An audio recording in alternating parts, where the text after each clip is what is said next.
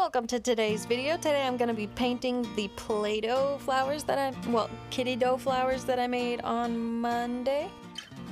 These have dried a little bit more, but I don't think they're going to dry properly and the petals and the leaves keep falling apart. So this isn't the best way to make something if you want to keep it long term. Painting the flowers was kind of difficult because of how tiny I made them, but it was still really fun. I got down into the little crevices, especially of the roses, and I just stippled. And I used water to thin out the paint so that it could blend into the color better. This rose in particular was very hard because I made it taller and it still hasn't dried and it's falling apart and it's leaning one direction and it's very hard to get between all the really close little petals. I mean, I guess it's a good thing that it's still kind of flexible because I can move the petals so that I can get in there. But I also risk like breaking it by doing that. So this one was very tricky. So I just wanted to do this one first and get it over with. My suggestion to you is don't do something this detailed out of Play-Doh or Kiddy Dough or anything of that texture. I'm sure this is a lot like Play-Doh where once it dries it'll start cracking in places that you don't want it to crack so it's not going to end up looking good. So it's not worth putting the effort into making something out of something of this texture. This blue rose was very pleasing to color because, or to paint because all I had to do was add some black inside the petals and that's all I did. I didn't add any highlights, it looked good. This one was pretty fun to color too. Um, at least for the lowlights. The highlights kind of made it look a little goofy, but the lowlights were really fun, the, sh the shading. Because of the shape of the petals, I think is probably why it was the most fun to paint.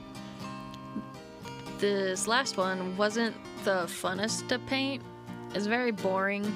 I mean, it looks boring by itself anyway, and so painting it didn't really help any. Adding highlights was fun and kind of difficult because I was just adding it to the tips of the petals, and I could only add a little bit of paint at a time, and it's acrylic, so it dries fast. So then I gotta go back and forth between the paint and my cup of water to thin it out, to blend it evenly, and a lot of it did not blend very evenly, but it still looks okay. It still adds some pretty cool texture. It's a very, very specific style, the outcome, painting it like this. Also, remember my dilemma with the uh, pollen in the middle of the flowers? I totally forgot that I was going to be painting the flowers, and so I should have just not stressed about it as much as I did because painting it made it a lot better. Highlighting the outside of the petals make them look a lot more cartoony, which is pretty cool. But it's also not very realistic if that's what you're going for.